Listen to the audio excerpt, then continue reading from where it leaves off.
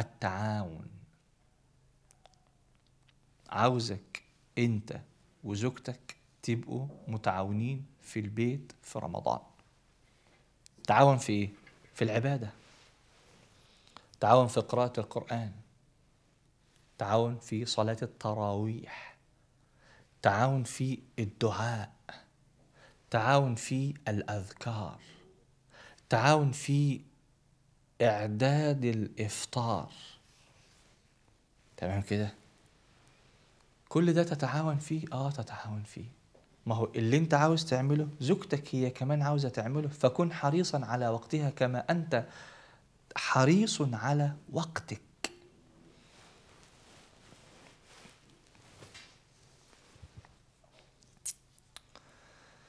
لو إحنا قلنا مسألة القرآن شجع زوجتك إن هي تقرأ وردها.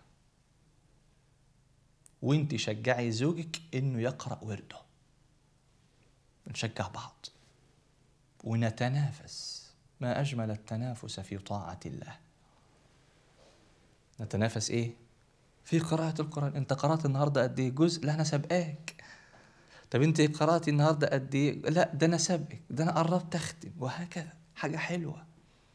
هو ده التنافس الحلو اللي يرضي ربنا ويرضي سيدنا النبي. عشان النبي ما يشتكيش يوم القيامة لربنا يقول وقال الرسول يا رب إن قوم اتخذوا هذا القرآن مهجورا. وما تنساش إن رمضان شهر القرآن شهر رمضان الذي أنزل فيه القرآن هدى للناس وبينات من الهدى والفرقان. تمام. نتعاون في قراءة القرآن. أنا أشجع زوجي وزوجي يشجعني. نتعاون في الدعاء هقول ده دلوقتي. نتعاون في قيام الليل. نتعاون في أمور البيت ال- الفطور. التعاون في قراءة القرآن إحنا قلنا. وبعدين نجتهد بقى إنه إيه هي تقول له أنا هختم السنة دي ختمة يقول لها أنا هختم ختمتين. هي تسمع كده لا مش باش أحسن مني أنا هختم أنا ثلاث ختمات. طب أنا هختم أربعة. التنافس ده حلو. كان سفيان الثوري إذا دخل رمضان ترك جميع الأعمال وأقبل على قراءة القرآن.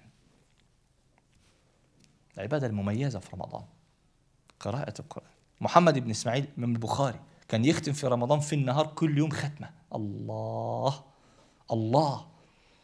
كل يوم ختمة في رمضان. أيوة يعني كم ختمة في آخر الشهر؟ 30 ختمة. ويقوم بعد التراويح كل ثلاث ليالي بختمة.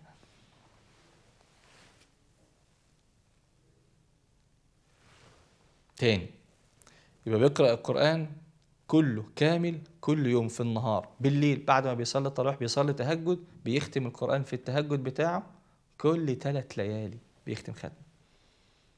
يعني 30 بالنهار وكل ثلاث ليالي يعني في الشهر كله عشر إيه ختمات. يبقى الإمام البخاري كان يختم القرآن الكريم في رمضان أربعين مرة.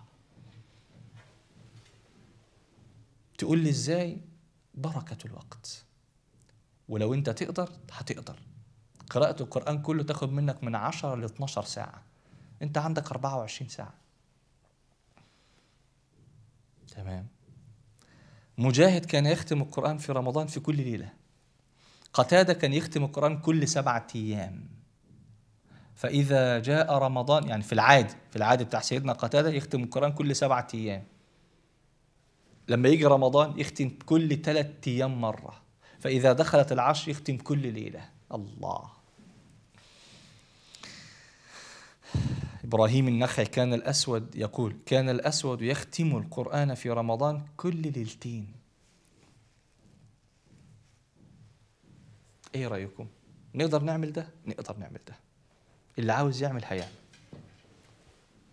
اللي عاوز يعمل هيقدر يعمل. اللي هيستسلم ويقول أصل وفصل والوقت والبيت والمطبخ والعيال والشغل لأ.